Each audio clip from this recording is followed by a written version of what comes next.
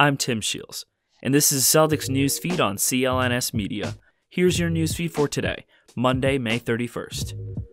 The Celtics dropped Game 4 to Brooklyn in front of a full crowd at TD Garden, losing 141 to 126. Brooklyn's big three combined for 104 points, and Jayson Tatum followed up his Game 3 performance with a 40 point outing in the loss. Boston is now down 3 1 going into a do or die situation on Tuesday in Brooklyn. Boston was without Kemba Walker and Robert Williams, and with the Nets shooting 59.3% from deep on the game, the Celtics just couldn't keep up.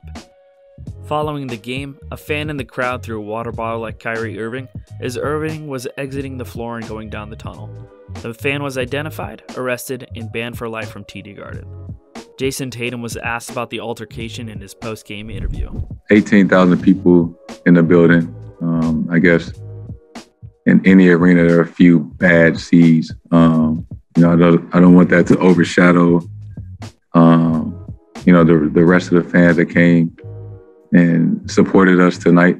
But obviously, um, there's no place in the NBA for, you know, throwing bottles or throwing anything um, at a player.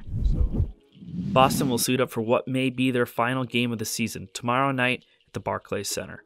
Tip-off will be at 7:30 p.m. That's your Celtics news feed for today. Don't forget to tell Alexa to give you your Celtics news feed for these audio updates on the seas.